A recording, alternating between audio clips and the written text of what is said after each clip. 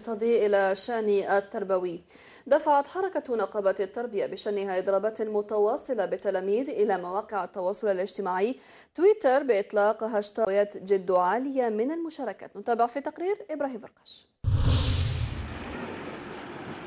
أخيرا كسر التلاميذ هاجس الصمت إزاء ممارسات بعض النقابات التي حولتهم إلى رهائن أمام الإضرابات المتواصلة.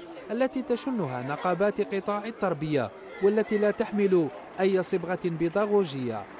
تحرك التلاميذ عبر مواقع التواصل الاجتماعي لانتقاد سياسات النقابات حيث حقق هاشتاغ التلميذ ضحية الإضراب مستويات كبيرة جدا من المشاركات على موقع التواصل الاجتماعي تويتر أين أجمع الجميع على شعار كفاكم يا نقابات التلاعب بنا. نقرا سنة رابعة ابتدائي جيت الصباح قالوا لي ما تقرايش. هذه أختي تقرا مع سنة ثانية اليوم دخلنا صباح 8 ومن بعد قعدنا في الساحة باش خرجونا وقالوا لنا اليوم غدوة ما تقراوش. تلاميذ في حالة غضب ونقابات تناور والنتيجة التلميذ أكبر الخاسرين.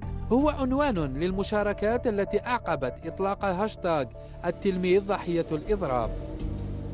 اليوم ما قريناش خاطر كاين la grève على حسبت لي آه، باينة بليك la grève تاع الشيوخه خاطر كاين 2003 حب ما حبوش آه، خاطر كي داروا قانون ذاك تاع 60 سنة حبوا الشيوخه يدوروا la grève خاطرش آه، قالوا لهم تكملوا تقروا حتى 60 سنة هما ما حبوش حبوا يدوا هاد الديامات يحطوا ال dossier باش يدوا 2003 على بها داروا la grève وما قريناش. قالوا لنا ما تقراوش اليوم وغدوه ونهار الأربعاء نقراو.